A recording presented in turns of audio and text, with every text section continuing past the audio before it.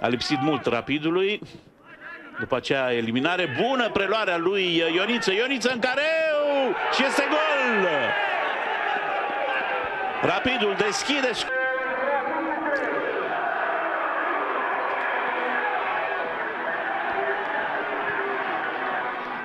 Foarte bună preluarea lui Ioniță din, uh, dintr-o pasă venită de la adversar.